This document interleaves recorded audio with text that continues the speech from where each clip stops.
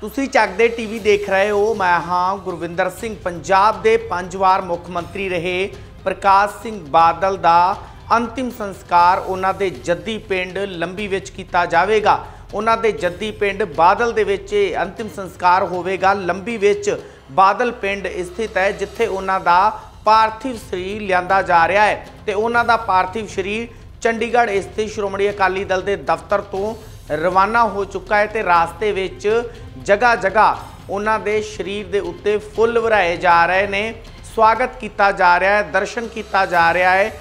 ਸੰਗਤ ਦੇ ਵੱਲੋਂ ਰਾਸਤੇ ਦੇ ਵਿੱਚ ਸ਼੍ਰੋਮਣੀ ਅਕਾਲੀ ਦਲ ਦੇ ਵਰਕਰ ਤੇ ਜਿੰਨੇ ਵੀ ਚਾਉਣ ਵਾਲੇ ਨੇ ਪ੍ਰਕਾਸ਼ ਸਿੰਘ ਬਾਦਲ ਨੂੰ, ਉਹ ਉਹਨਾਂ ਦੇ ਪਾਰਥਿਵ ਸਰੀਰ ਦਾ ਦਰਸ਼ਨ ਕਰਨ ਦੇ ਲਈ ਪਹੁੰਚੇ ਨੇ। ਬਹੁਤ ਵੱਡੀ ਗਿਣਤੀ ਦੇ ਵਿੱਚ ਭੀੜ ਉਮੜ ਰਹੀ ਹੈ। ਤਸਵੀਰ ਜੋ ਦੇਖ ਰਹੇ ਹੋ, ਰਾਜਪੁਰਾ ਦੀ ਤਸਵੀਰ ਹੈ, ਜਿੱਥੇ ਇਹ ਐਂਬੂਲੈਂਸ ਜਿਸ ਨੂੰ ਡਰਾਈਵ ਕਰ ਰਹੇ ਨੇ ਵਿਕਰਮ ਮਜੀਠੀਆ, ਜੋ ਅੰਤਿਮ ਯਾਤਰਾ ਦੇ ਲਈ ਗੱਡੀ ਵਰਤੀ ਜਾ ਰਹੀ ਹੈ ਇਸ ਨੂੰ ਕਹਿ ਸਕਦੇ ਹਾਂ ਚਲਾ ਰਹੇ ਨੇ ਵਿਕਰਮ ਮਜੀਠੀਆ ਤੇ ਰਾਜਪੁਰਾ ਦੇ ਵਿੱਚ ਉਹਨਾਂ ਦਾ ਵੈਲਕਮ ਕੀਤਾ ਜਾ ਰਿਹਾ ਅੰਤਿਮ ਦਰਸ਼ਨ ਕੀਤੇ ਜਾ ਰਹੇ ਨੇ ਤੇ ਉਹਨਾਂ ਦਾ ਇਹ ਪਾਰਥਿਵ ਸਰੀਰ ਜਿਹੜਾ ਹੈ ਰਾਜਪੁਰਾ ਤੋਂ ਹੁੰਦੇ ਹੋਏ ਕਹਿ ਸਕਦੇ ਹਾਂ ਆਪਾਂ ਕਿ ਲੰਬੀ ਪਹੁੰਚੇਗਾ, ਜਿੱਥੇ ਬਾਦਲ ਪਿੰਡ ਦੇ ਵਿੱਚ ਉਹਨਾਂ ਦਾ ਭਲਕੇ ਅੰਤਿਮ ਸੰਸਕਾਰ ਦੁਪਹਿਰ 1 ਵਜੇ ਕੀਤਾ ਜਾਣਾ ਹੈ। ਤੇ ਖੁਦ ਵਿਕਰਮ ਮਜੀਠੀਆ ਉਸ ਗੱਡੀ ਨੂੰ ਚਲਾਉਂਦੇ ਹੋਏ ਨਜ਼ਰ ਆਏ, ਜਿਸ ਦੇ ਵਿੱਚ ਪਾਰਥਿਵ ਸਰੀਰ ਹੈ, ਸਾਬਕਾ ਮੁੱਖ ਮੰਤਰੀ ਪ੍ਰਕਾਸ਼ ਸਿੰਘ ਬਾਦਲ ਦਾ।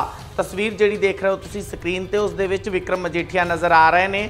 ਉਹਨਾਂ ਦੇ ਨਾਲ ਸੁਖਬੀਰ ਬਾਦਲ ਸਾਈਡ ਵਾਲੀ ਸੀਟ ਤੇ ਬੈਠੇ ਹੋਏ ਨੇ ਤੇ ਉਹੀ ਗੱਡੀ ਹੈ, ਜਿਸ ਦੇ ਵਿੱਚ ਪਾਰਥਿਵ ਸਰੀਰ ਹੈ, ਸਾਬਕਾ ਮੁੱਖ ਮੰਤਰੀ ਪ੍ਰਕਾਸ਼ ਸਿੰਘ ਬਾਦਲ ਦਾ।